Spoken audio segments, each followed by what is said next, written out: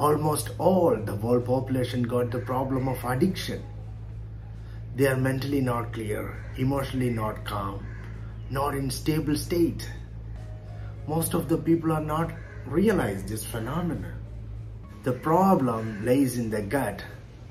The brain is innocent. The real player in this case is the gut bacteria. Consumption of any animal milk except on mother's milk cause more problems than the benefits.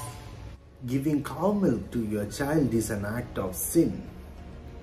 It's an abuse to the child's natural body mechanism through causing chemical affinity in the body. It can make a block in the path of spiritual awakening. Spiritual awakening means the process of unification of mind, body and spirit. I'm talking about your body and the cosmic energy. Meditation is the best method to attain mentally clear, emotionally calm, stable state.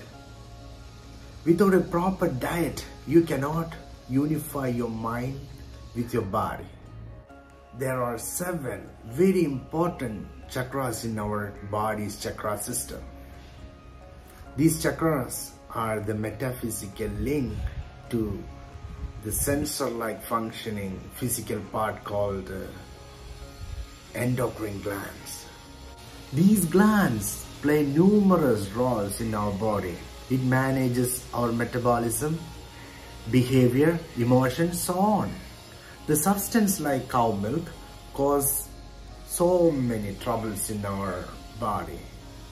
Not only in digestive system, but also each and every cell. The condition of pineal calcification could be a result of milk consumption.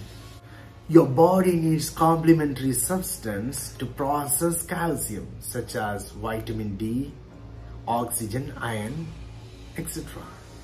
Since milk is an acid forming food and your general diet is acid forming, then your body takes alkaline substance calcium to regulate the pH of your body. The pineal gland is connected to Sahasrara chakra, crown chakra, which is the gate of spiritual awakening. Spiritually awakened person is exist in the state of balanced, stable. A healthy gut microbiome is full of beneficial bacteria that breaks down, assimilate, absorb the nutrients from the food you eat, which fuels the processes in your body. Gut microbes also have another purpose, which is to produce dopamine and serotonin, the chemicals that help boost and regulate your mood. Approximately 90% of serotonin and 50% of dopamine are produced by the bacteria in your gut. There are approximately 600 million neurological brain-gut connections, which is why gut is now called second brain. Proper functioning of this system is essential for mental and physical health. The brain-gut axis is regulated by neurotransmitters, various hormones, immune system cytokines, and different organisms. The enteric nervous system contributes to what goes on in the body. The system is comprised of 30 different neurotransmitters.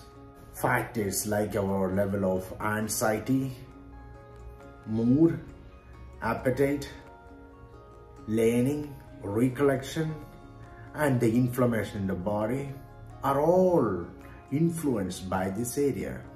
These are all factors that play a role in an individual's addiction susceptibility and mental health. When external factors trigger different stresses, inflammation in the gut may arise. When this happens, the brain may react with the symptoms of anxiety, depression, and other mental disorders.